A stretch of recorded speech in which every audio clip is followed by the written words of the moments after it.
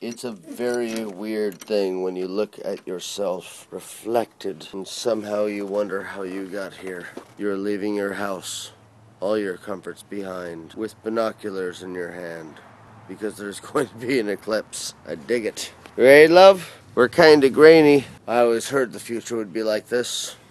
Difference between men and women? It takes them 45 seconds to get ready, and it only takes us 15. In the long run, that's not a lot. We're going out. We're going to see the lunar eclipse.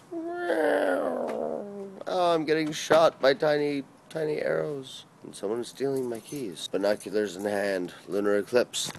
Say hi, Joe. Hi, Joe. No, you can't see me. I figure once I upload this, I can. Uh... Oh, there you are. Sort of. Oh, that's where the camera is. Always forget that. Actually, we should probably bring something to drink. I'm rethinking this leaving early bit. Let's go back inside where it's safe.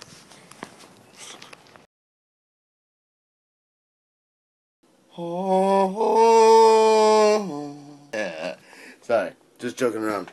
Flip change. Don't turn the camera.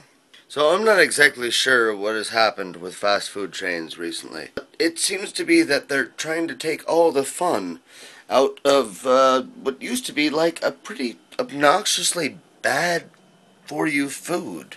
So I found that once Taco Bell took the fake meat out of their tacos, and once Subway took the yoga mats out of their sandwiches, all of it tastes kind of crappy. Maybe it tasted awful all along, but I'd like to hear what you guys think.